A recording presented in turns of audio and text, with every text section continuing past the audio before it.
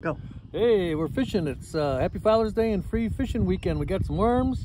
We're catching some bullheads. Yeah. It's a beautiful day, but uh, we, we've been out here a while and I didn't get no food. We ain't got nothing to eat. Oh, yeah, we'll eat later, you know. Yeah, well, You know. Paul, what? what did you just eat? Nothing. What did you just put in your mouth? Nothing.